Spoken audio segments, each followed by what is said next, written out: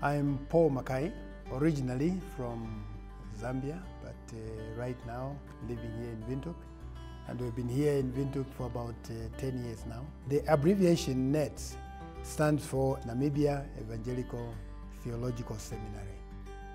I was uh, teaching a course called Christian Ministry Workshop for the first years, introducing them to the various ministries in the local church, helping them to understand why we have those ministries, and also helping them to trace the history of some of those ministries, even going back to the times of the Israelites, as to how they were able to teach themselves the Word of God and what uh, patterns they used or settings in order to teach. So we help them to see that background and helping them to appreciate that uh, when the ministries are there, they are not just programs to keep people busy, but there are ministries that have been established in order to mature the Christians, grounding them in the Word and also helping them to be in the transformation process, uh, being Christ like as they adhere or obey the word that is being taught.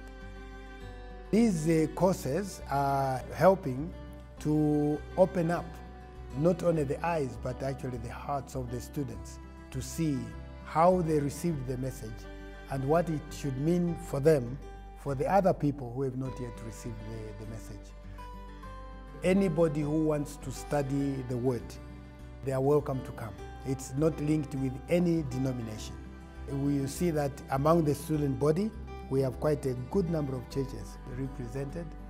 And you also see that even among the staff, the lecturers and so on, they come from different backgrounds.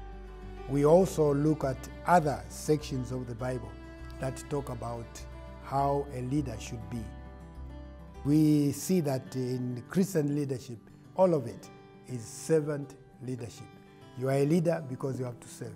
Whereas secular leadership, you are a leader to be served.